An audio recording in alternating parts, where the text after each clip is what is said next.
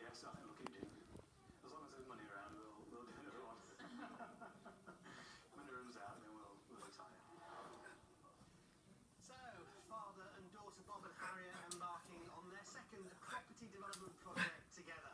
This time, with Harriet's honed painting skills coming into play. How will they get on? You can find out later in the show. In Glasgow, a first-time developer does her homework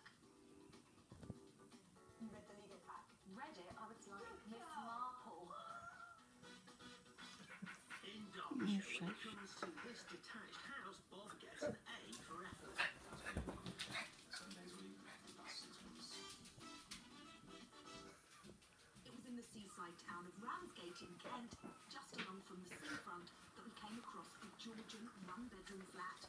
And though tired and dated, its high ceiling You wouldn't have thought that, would you? No magpie trying to I'm snoring, by the way. really lovely feel. It even had the bonus of a small courtyard garden. But the flat only had a short lease, and the layout wasn't quite right. It wasn't really making the most of those wonderful sea views and the pleasant aspect out front. But it was bought for 61000 at auction by friends Mark and Andy as a holiday home for their two families, and they had grand plans for it.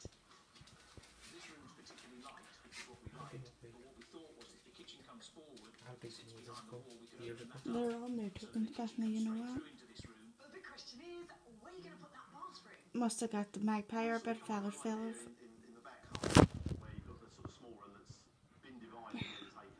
呀呀